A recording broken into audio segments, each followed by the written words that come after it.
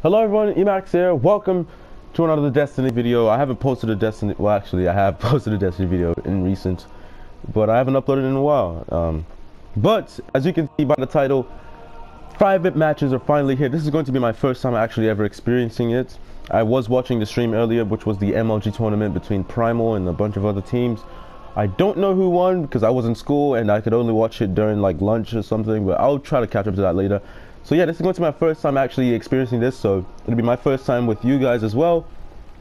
Hope the microphone quality isn't too bad.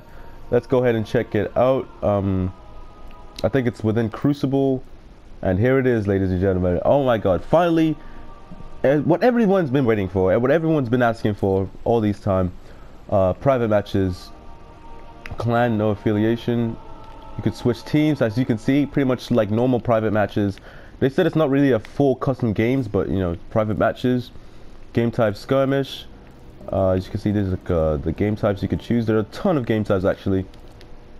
Map, you could choose many different maps. There are up to like 30 maps you could choose. Score limit, time limit, light level. Okay, this is one thing that's really, really good. I'm not sure if they were uh, enabled. I'm pretty sure they should be disabled when they were playing uh, at the tournament because that would just make everything more fair and balanced.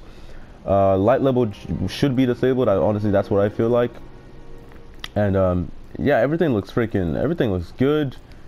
Uh, you could switch teams and everything.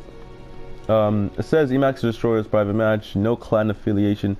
Um, I think that's because uh, for the uh, update they disabled uh, clan. Uh, what do you call it? Just pretty much anything with clans or whatever. They disabled it.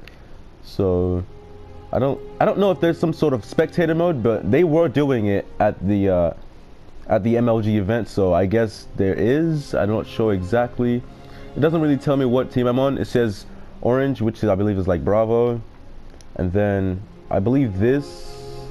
I I'm not sure. Okay, there are only two teams then, I suppose.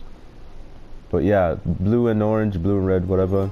Um, doesn't say anything about spectator. I don't know how they did it, but I mean.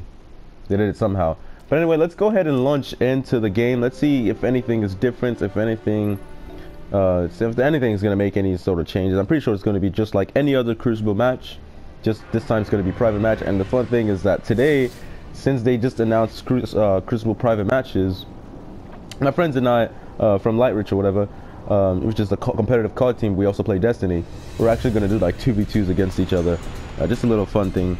And then later on, when uh, you know Rise of Iron actually comes out, we're gonna be doing ML, uh, MLG tournaments and, uh, and, stuff on that. Just you know something we could do before um, before we turn 18, so we could actually focus on uh, competitive Call of Duty. Control. So I am on Alpha team. Everything looks Time pretty much. Guardians. I'm sorry guys, I'm eating right now. I'm eating right now. Everything's pretty much the same, honestly. I just I should not be using that sniper if I was to play PV, PVE and PvP. I mean, but yeah, everything looks pretty much the same. Um, they were playing the 6v6, which I'm not sure if that's going to be final.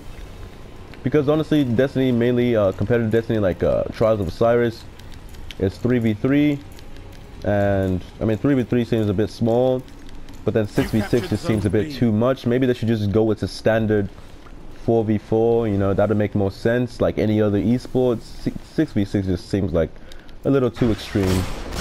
But yeah that's pretty much it. It's not I mean you can actually uh, I forgot to show you guys.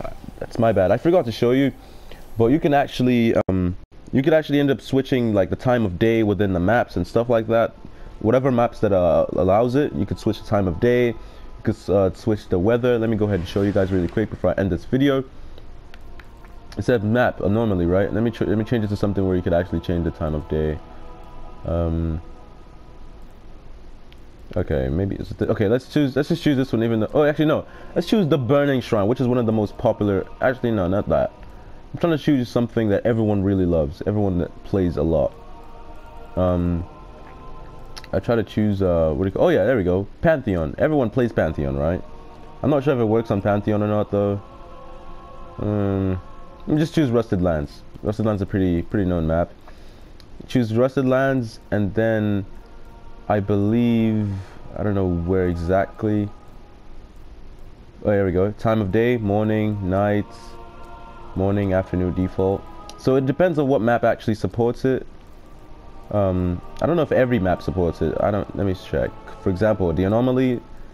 Yeah, see, it, time of day is not even there anymore. So yeah, that's pretty much all it is to it. I mean, Destiny 2 apparently is supposed to come out next year, so I'm pretty sure that's going to have more esports features and like private matches. It's going to be a full-fledged Bungie game. I mean, Halo had private matches, not even just private matches, full-on custom games theater mode. Halo was the game that pretty much made theater mode popular for them.